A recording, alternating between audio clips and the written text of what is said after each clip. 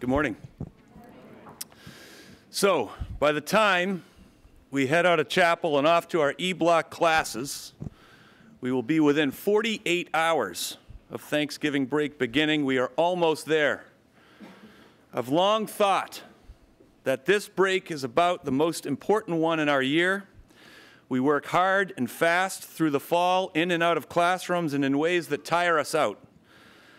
Well, not as long as the breaks awaiting us in the winter and spring, Thanksgiving break allows us to step away and gather ourselves for the push to the end of the semester while enjoying my favorite holiday of the year, Thanksgiving.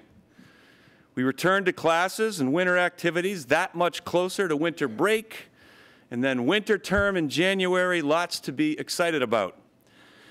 Before lurching ahead, however, and when thinking about our fall, it will not likely come as a surprise to know that I have enjoyed and loved the time we have spent together here in Ashburn Chapel since beginning the year, way back on September 5th.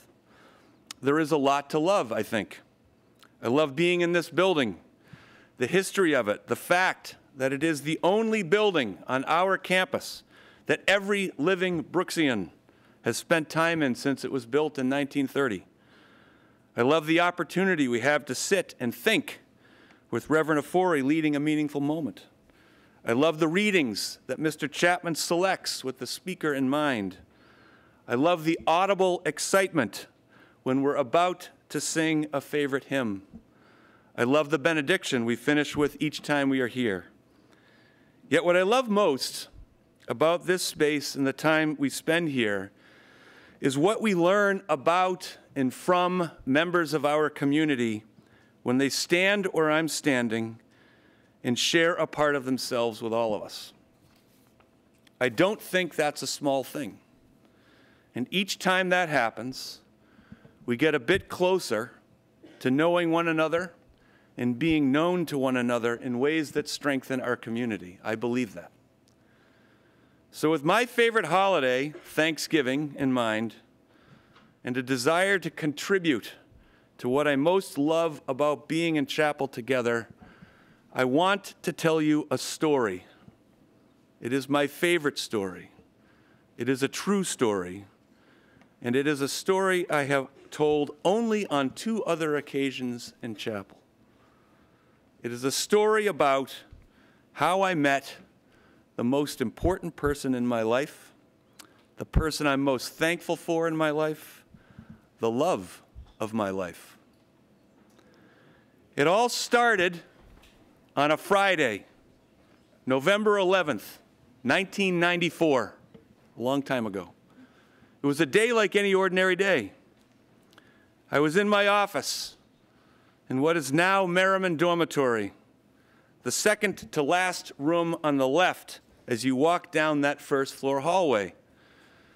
I was in my first year as assistant dean of students, my fifth year at Brooks, and we were closing in that morning on it being time to head to school meeting in the auditorium, a building that is no longer with us.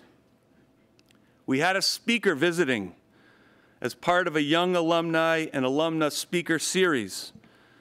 This particular speaker had graduated from Brooks in 1987, first in her class, gone to Harvard College, where she graduated magna cum laude with a degree in economics in 1991, and had been working in Washington for the Council of Economic Advisors, the National Economic Council, and as a member of the Clinton administration's health care task force, an early attempt to pass a national health insurance program.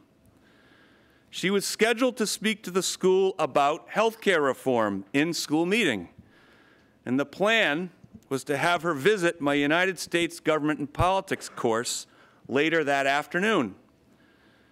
I was tied up with something, was running behind in my effort to get out the door and up the hill to the auditorium when Judy Chisholm, the school registrar at the time, who occupied the office right next to mine, came around the corner and poked her head into my office, saying, I think you should go to school meeting. Now, that was not a common occurrence. I was puzzled. I was a bit annoyed. And after replying in some insufficient way, she said, in her inimitable Mrs. Chisholm way, that was certain to get your attention John, go to school meeting. When Mrs. Chisholm told you to do something, you did it. So off I went. By this time, I was late, and the speaker had already gotten well into her talk. The auditorium was really just an old barn without enough seats, and it filled up quickly during school meeting. So if you were late, you generally got stuck in the entryway, able to hear the speaker, but not able to see the speaker. Eventually, her talk transitioned to questions and answers, followed by meeting uh, the meeting ending and students and faculty members making their way out of the building. With an opening to get through the doors, I figured I should at least meet this person who was coming to my class later that day.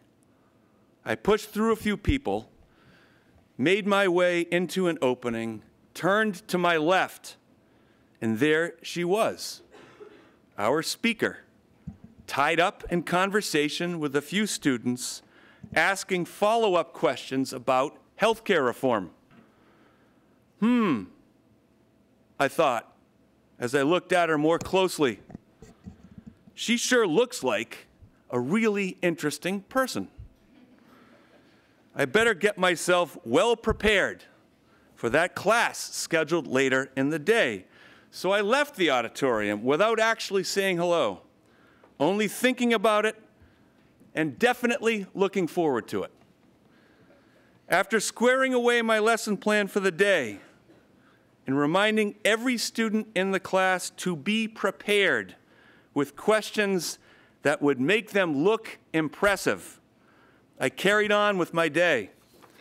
Our speaker spent the middle of the day with Miss Crump Burbank, who had been her field hockey and softball coach when she attended Brooks. Eventually, Two o'clock rolled around and it was time for class. My classroom at the time was located in what is now the Dean's Den. It was a great group of kids in the classes of 1995 and 1996, all of whom are now in their mid 40s. They were a lively and spirited group. I had advisees in the class, boys who were on our soccer team, and some really super people. In fact, one of them is currently a vice president on our board of trustees, my boss. We were settled in, and the speaker eventually turned up at the door for the visit. My especially well prepared group fired away with impressive questions, rising to the occasion and not letting me down. The speaker held up well with my super impressive group of students, and I thought, wow, she is really impressive. So I thanked her for visiting, politely walked her to the car, waiting for her outside, and away she went.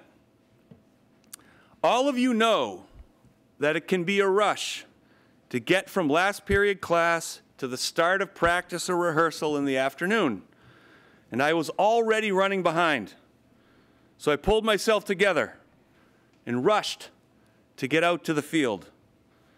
I was scrambling to get squared away to begin practice, and the first person I bump into was TJ Morton, my advisee, a student in the class, and a player on our team.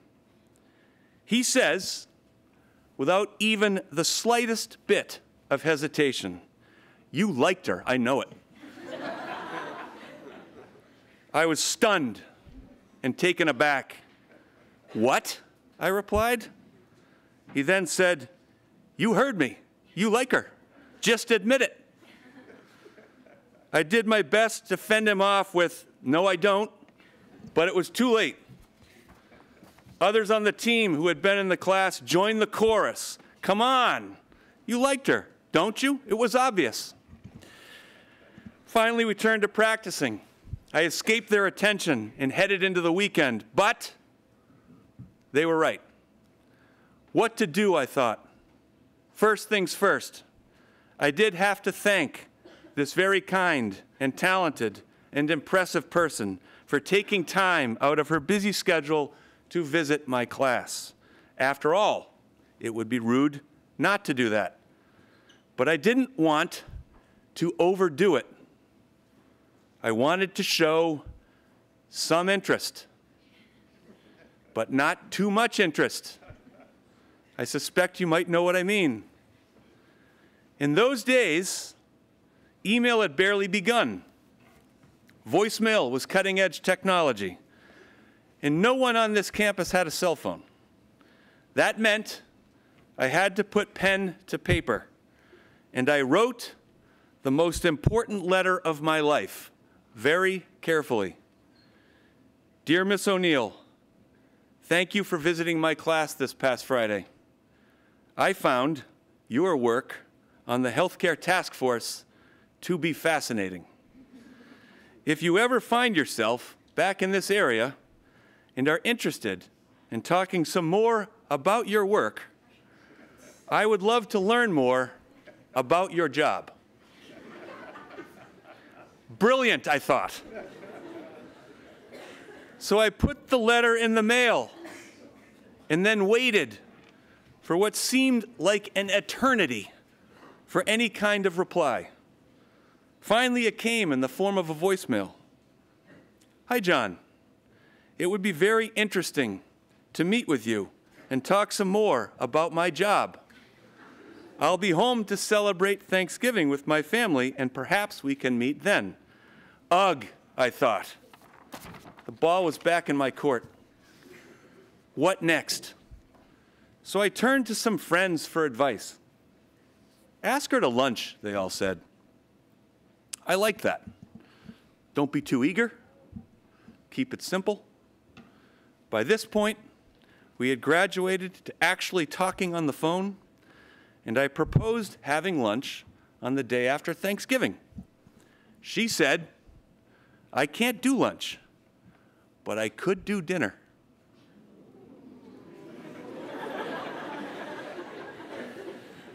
Well, okay then, I said in my head, while replying, sounds great, to her. So, two weeks after meeting in my classroom, we had dinner at the loft and talked some more about her job. We continued to talk about her job the next day before she headed back to Washington. We remained in touch and I spent the better part of winter vacation visiting her in Washington. We spent more time together in January, and then I asked her sister, who I barely knew, to help me pick out an engagement ring, which was not an inexpensive strategy. Incredibly, her sister said yes. I then asked her father who I barely knew, for his permission to ask her to marry me. Incredibly, he said yes. So I boarded a plane for Washington in late January 1995, engagement ring in hand, and I invited this really, really, really interesting person who I met in a Brooks School classroom to join me at the Lincoln Memorial where I asked her to marry me. Incredibly, she said yes. We set the date for the Saturday after Thanksgiving, November 25th, 1995. And it just so happens that November 25th falls on the Saturday after Thanksgiving this year, too. 28 years after Mrs. Packard and I were married. I head into this Thanksgiving break thankful for all that we have given to the school and one another over the course of these past 11 weeks, here in chapel and everywhere on our campus. I also head into this Thanksgiving break and 28th wedding anniversary, one week from Saturday, profoundly thankful to be finding my way through life with Kimberly O'Neill Packard, the greatest stroke of good luck I will ever have. I hope all of you get the rest you deserve, enjoy time with people who are important to you, and return ready to get all we can out of what is certain to be a terrific winter at Brooks School. Have a great Thanksgiving. Thank you.